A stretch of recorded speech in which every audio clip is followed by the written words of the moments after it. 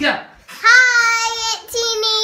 Hi, Sage. Go swim forever. Yep, Because you're taking. Because you're taking a bath. No, you're taking swim lessons. You're taking swim lessons. No, you are. I'm taking swim lessons. Noah, don't beat on the keyboard. Do you want to say anything to Aunt Teeny? I am not taking swim lessons. I'm watching Chuck and TV and playing. You're so cute.